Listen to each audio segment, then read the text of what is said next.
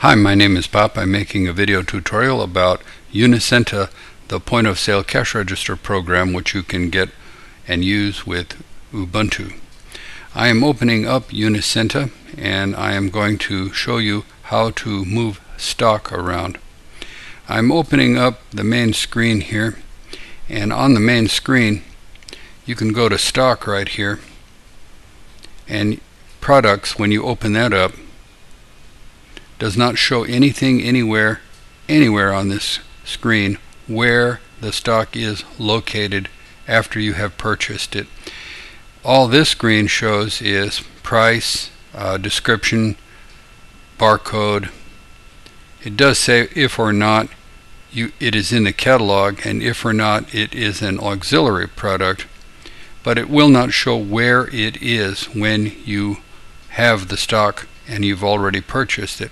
You might think to go right up here to product location and up here you will notice where it says general on uh, when you first open up the program it has this one location called general. And I've added these other locations and uh, since I have added these other locations and if I go down from item to item you'll notice here it's very dim. It shows in units how many I have well, I've got uh, 5 in general, and here I've got 57 in general, and so on. And I've got a negative number, that means I sold more than I really did have.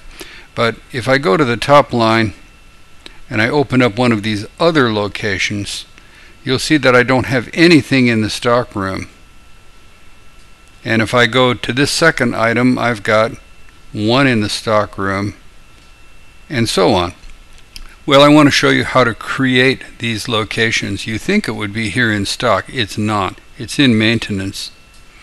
And when you go to maintenance, you go to locations and you will be creating locations.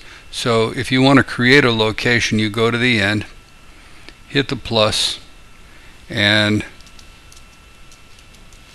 uh, we're going to add an item. I'll just type something in.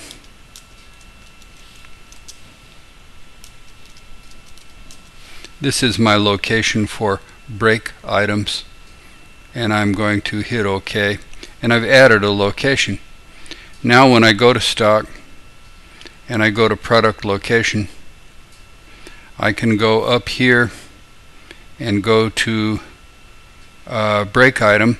But see I did not move anything into that new location.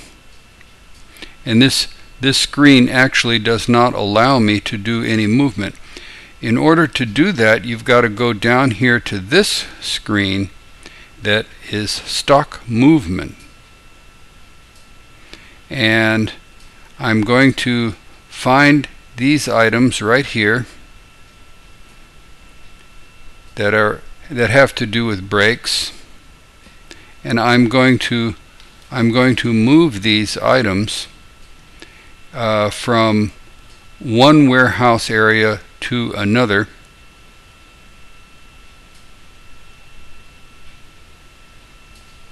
And I'm going to hit equal. And I just moved one each to the brake shelf. Now when I go to stock and I go to product location and I go to brake shelf. I've got one of these items here but certainly no burgers.